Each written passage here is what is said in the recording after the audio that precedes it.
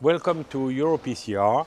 And our topic this morning is the great debate. You know that this year, the great debate dealt with a very, very hot topic.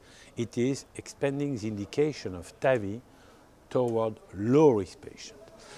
It was a discussion, a very friendly discussion between surgeon, represented here by our friend Thomas Walther, and the cardiologist, in fact, the intervention is represented by Darren Mylotte. So, welcome, and let's put the first question to you. Do you agree about the definition of low risk? What is low risk patient for you? Please, Tom. Well, basically, there's difficult, uh, different factors. Age, of course, is an important factor. Most trials are being performed in patients 80 years mm -hmm. or older, so higher risk population. But I believe there's other factors besides age, besides lowering the age, mm. some aspects which are covered by one of the scoring systems. The STS score is the most precise one in parallel to the Euroscore 2. Darren, you agree with that? Yes and no. I mm. think that the...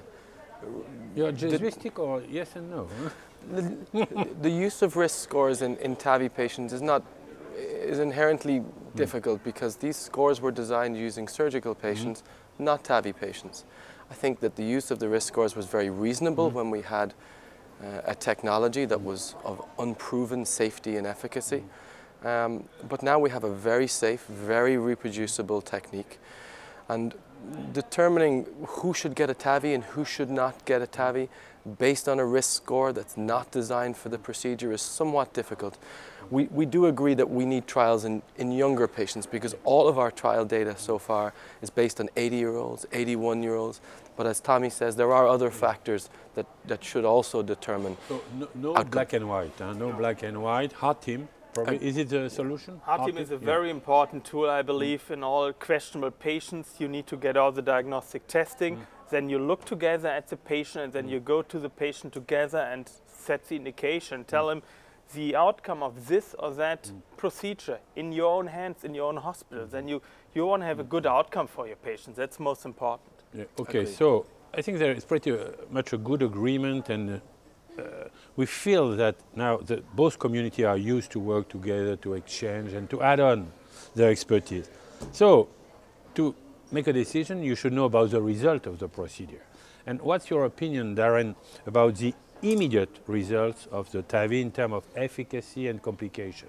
How do you? I think we have a. I think we have a very safe, very efficacious procedure. We've demonstrated in large randomized controlled trials that TAVI is superior to medical therapy. In high-risk patients, it's superior to surgery. And in intermediate risk patients, it's superior to surgery. That's in terms of all-cause mortality. But also we see many important secondary endpoints. Mm such as significant reductions in major bleeding, mm. acute kidney injury, and better hemodynamic performance of the valves. However, it is important to mm. state that these outcome performances are early. 30 days, one year, and longer term follow-up of these devices is certainly required. So, Yes, I, I, agree. We, we, have really convincing data mm. that TAV mm. is a good tool for many mm. patients, the elderly, the higher risk. Mm. We don't have good long-term data yet. Mm. And basically, we are all believers in randomized trials, but what interests me as a physician in daily practice mm. is all comers outcomes. Mm. So some registries may reflect a more realistic picture mm. than these selected randomized trials. Okay. But you do TAVI by yourself, Tom. Yeah. I really like it, yeah. all approaches, yeah. I'm really happy. It's a good procedure mm. for the right patient. Yes, very clear, and I okay. like to do it together with our cardiologist as a heart team. It's really good fun, you learn mm. from each other it's, it's great procedure. Okay. So we, we, do agree surgical results in the low risk population are excellent in terms of mortality, etc. And the TAVI results, you feel they're improving, really, dramatically improving. Well, I think in terms of safety. If we look at the STS mm. um, database and look mm. at outcomes mm. from TAVI patients undergoing surgery, low mm. risk patients, mm. the average mortality in that database is about 1.7. as Tommy suggested, in a selected mm. patient mm. population treated with the SAPIEN 3 mm. valve, mm. we see outcomes that are very similar. Mm. All-cause mortality about 1.1%. Mm. So they seem to be equivalent. Where we're lacking, the data we're lacking are younger patients, longer-term follow-up, valve durability, and those data are emerging, but more work is required. So that's a point. We, we Durability. Have a, have a have to place mm. a, a, comment of caution mm. actually. Yeah. Like durability is an important point. We don't have long-term data yet. Of course, we can argue like mm. Uh, some surgical valves haven't been evaluated in the long run, but durability means 10-year uh, functionality of the valve, mm. freedom from valve failure, and we don't have, uh, we, we haven't reached mm. that. There's interesting data that came up yesterday, the late-breaking session uh, on uh, durability mm. from the early mm. series from mm. Vancouver and Rouen. And basically after five, six, seven years, there's an increasing deterioration rate, obviously, of these uh, transcatheter procedures of the first generation. What do you think, Darren? Uh, are you anxious about the durability of the TAVI valve, or do you I feel we can manage that? I think that we, we need more information. We've had one small series, single center, first yeah, generation exactly. device. We have multiple devices, for example, with supraannular leaflets, mm. um, with larger effective orifice areas, uh, mm. for example, with mm. self-expanding devices, that could give mm. us better long-term mm. durability, or indeed may not. I think that, again, we need more data. Um, certainly, I, I, think that in, um, in intermediate risk patients, in high-risk patients, the evidence is there. Get treating your patients, offer them um, a, a, a, a, TAVI. However, it's important to note that while durability is important, it is not as important as safety. If you have a procedure that reduces mortality, mm. that's more important, I think, than durability. And you do also agree from the surgical experience that the way the valve fail is an important point. Sure. And we haven't sure. heard about dramatic failure like with the Mitroflow and also the valve in a valve. Do you have uh, any personal experience with TAVI into TAVI? few cases. Yeah. And actually, of course, you can redo a. TAVI valve yeah. into a TAVI valve pretty straightforward. Mm -hmm, um, it's almost like a penalty kick. If the first valve is in a good position, mm -hmm. it's like soccer penalty, straight, straight shot.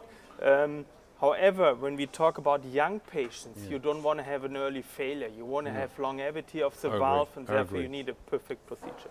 Okay, so friends, are you ready to do TAVI in all the low-risk patients today?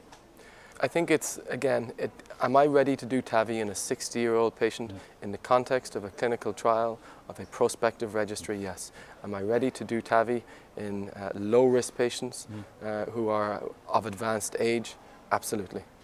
Well, as said, I believe you, we would need an all-comers randomized trial first to go to really younger patients. There's some trials coming up, mm. an all-comers German trial. Mm is on the horizon starting in autumn this year, and we're looking forward to those outcomes. So I think we, when listening to you, you are pretty much in agreement. It's an an excellent technique, improving, improving, improving, but we are going to an unknown category of patient where we have to be extremely cautious, and both of you advise to go on with evidence and then follow the evidence. There are plenty of trials, but I would like to point to stress what uh, Tommy said. It's very important to have all-comers trial, and probably there is room in Europe to do these because uh, two trials which are starting in the US are probably not exactly the all-comers trial. So we are waiting for a result, and hopefully, as we discussed previously, a patient will derive a benefit from having two excellent techniques. So, thanks. Thank you. Thank you.